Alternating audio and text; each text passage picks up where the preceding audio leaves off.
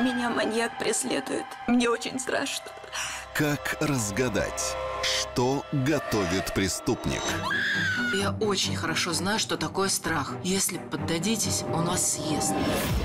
Удар пришелся в висок, так что даже особые силы не понадобилось. Он меня хотел убить, просто перепутал. Получается, преступник где-то рядом? Надо ловить на приманку. Премьера.